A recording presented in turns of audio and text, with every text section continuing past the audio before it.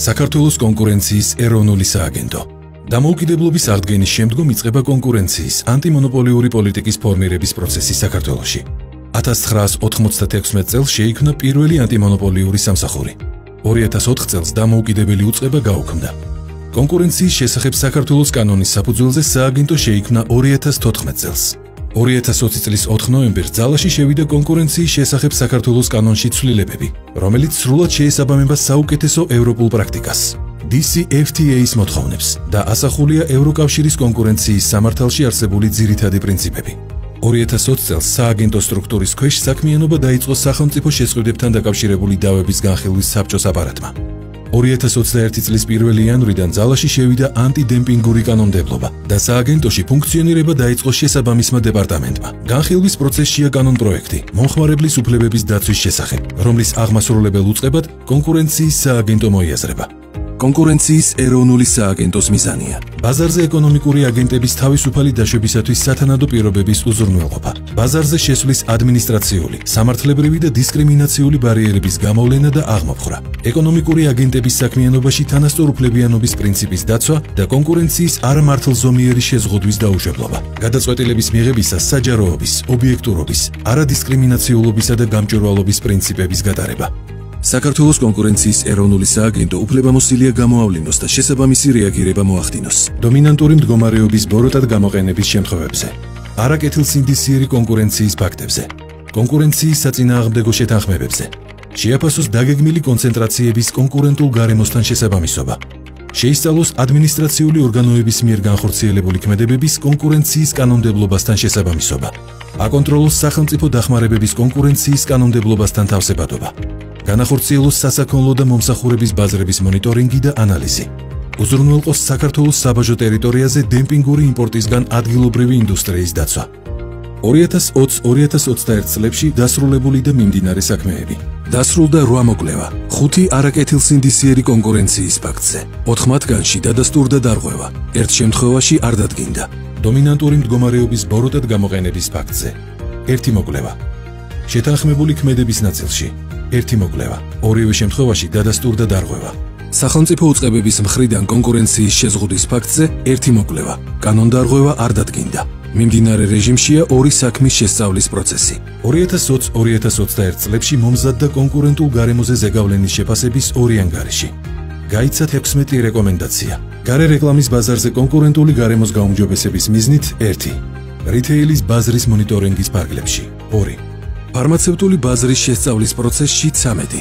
2020-2021 წლებში სააგენტომ დაასრულა 6 ბაზრის მონიტორინგი.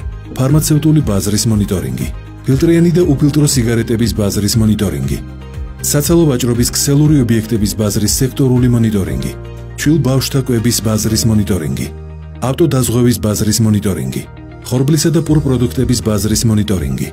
დაკვირვების ქვეშ რჩება 2 საავტომობილო საწვავის და ფარმაცევტული ბაზრის მონიტორინგი.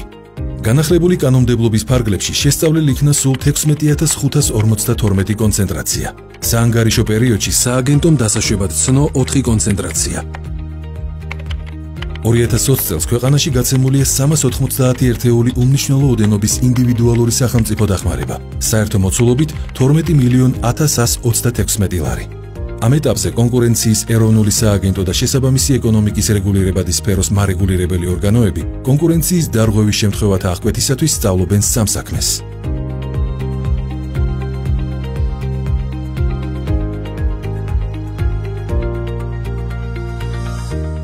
2014-2021 წლები.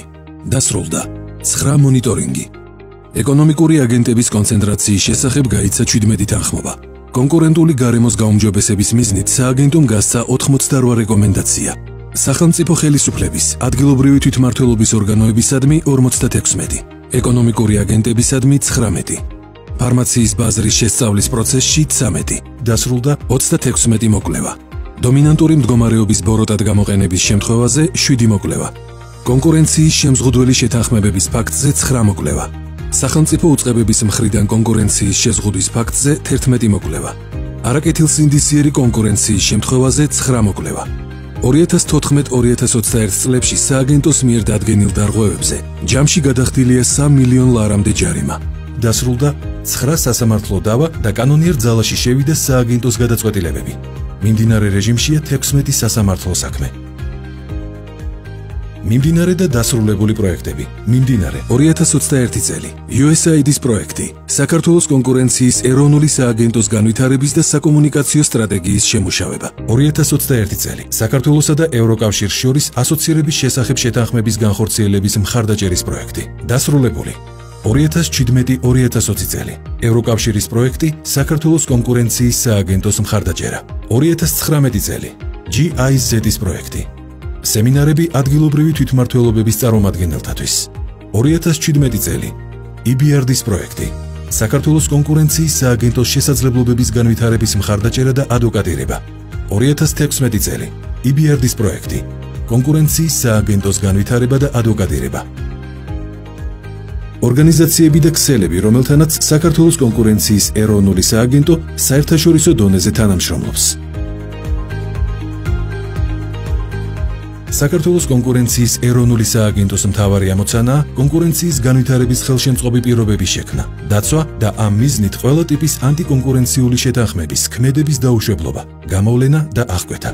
სააგენტო არის დარღვევის პრევენციაზე ორიენტირებული ორგანიზაცია და ყველა დაინტერესებულ მხარესთან მზად არის თანამშრომლობისთვის. კონკურენცია ქმნის ეკონომიკურ პროგრესს და ხელს უწყობს სამართლიანი ბიზნეს გარემოს ფორმირებას.